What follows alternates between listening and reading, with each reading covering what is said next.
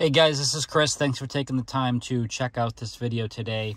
With so many uh, digital products and services available uh, via subscription these days, I want to spend a little bit of time to show you sort of the uh, back half of that. I think everybody knows at this point that you're going on the My BMW app to purchase any products and services right under the shopping bag there. And if you don't know, a quick reminder there is there is a little shopping bag uh, to the right at the very bottom of the display uh, on the screen there. You're going to just tap the shopping bag, go right under your Connected Drive store.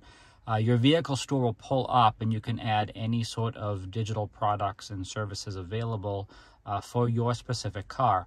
Once you add that to the shopping bag, you can then check out. Purchase uh, happens right away.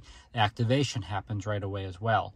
You get an email and a receipt from BMW uh, letting you know that your purchase has been successful and the function is currently active immediately. If there's a trial available, that will start initially. If there is no trial and it's a one-time purchase, uh, that'll also happen right away. So that is something that a lot of customers have been doing lately. One of the larger questions that we've had lately is, well, how do I activate the service actually in my car? Well, one of the things that you can do is you can go down here. Uh, let me first show you if you go down to apps and then you're going to take a look at the option button right there. We're going to touch where it says option uh, when the apps is open there and it says update apps and services. I'm going to tap down on that. It's going to transfer the data and then it's going to say apps and services are updated. One of the things I would recommend then is to actually turn the vehicle on just like this. Let it run for maybe just a couple of minutes or so. And then after a couple of minutes, you can then shut the vehicle off. Uh, what will then happen is the same thing that happens, you know, when you have a remote software upgrade or anything else that needs to get pushed uh, for your uh, viewing is once the car is shut off, you have the display show right at the top, activate activation of your function, perform now. So what you're going to do, the same thing happens with a remote software upgrade. Once the update, you know, goes to the device and then gets uploaded to the car, one of the last things you have to do is finish the process. Um, if you're familiar with some of my other videos uh, talking about that. This is sort of the same thing. It's uh, asking you to finalize that process. So what we're going to do is tap on activation of this so we can see that it says, hey, look, this is going to take five minutes. And if we want to see the information on the function, we're going to touch uh, this one right here. Uh, this is, so this is remote engine start for this particular car. This is what I have added to the car. So you can go through this and basically see, you know, whatever it is you want to see about remote engine start to understand how that function works. You can perform the activation later if you choose, or you can do it right now. So we're going to do it right now. We're going to do okay, it is parked and everything is good. Perform activation now automatically is going to check off to make sure those things are good to go. You can see right there how it's counting down um, by the seconds.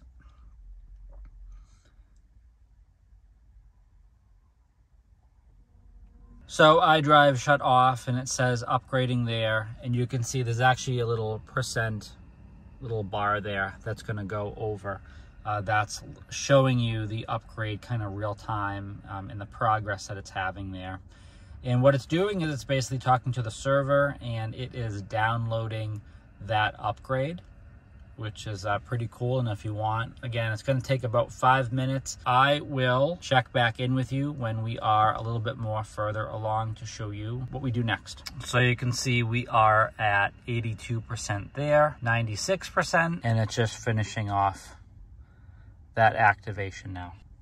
So we're loading up the iDrive. This is what you normally see when you first turn the car on. So now we are back on the home screen and what we need to do is actually activate the remote engine start because that is not something that is just on. So a couple ways depending on the car. I'm going to go through the iDrive itself to show you, but just so you know, cars that have the menu function down built into the climate, that is the fastest and easiest way of getting there because pressing menu will then bring you up into the preconditioning ventilation. So of course, preconditioning did not exist before, it was just ventilation. So now that's a clear way of knowing that we're all good to go. But I'm gonna navigate there through the iDrive in case you don't have that. So we're gonna go under car, um, we're gonna go under settings, and then we're gonna scroll over to our climate control. Same menu again. We're gonna go down to preconditioning ventilation. We're gonna go down to remote engine start. That now exists. We're gonna check off that function and now it is fully enabled. So this will now reflect in the My BMW app that it's enabled and that um, I can use it through the My BMW app. I can also now use the key fob as well, uh, pressing the lock three times in a row to start that as well. remote engine start is specific. Um, setup option there. Uh, there are other remote services that you can purchase that you don't necessarily have to go into the iDrive to activate.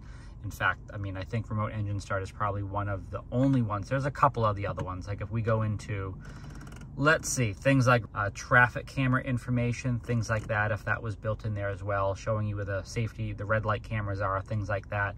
Uh, some of that you may have to check off. You have to go app by app, just kind of see what's going on uh, in there. But that's a quick overview of how to actually fully install and activate a basically function on demand is what we call it uh, once you've made the purchase through your connected drive store. Again, my name is Chris. Thanks for taking the time to check out the video with me today. Uh, down below, great links are relative to BMW Connected Drive and the Connected Drive store. Definitely want to check that out. Also down below is the link to the Chris's Bimmers Amazon storefront. Uh, want to check that out. Any products and services purchased through there, Chris's Bimmers does earn commission on. Thanks again for checking out the video. Make sure you join the channel for the memberships at the top to get exclusive perks to Chris's Bimmers. Make sure you subscribe to the channel so you can always stay up to date with the latest content. And as always, stay healthy and safe out there.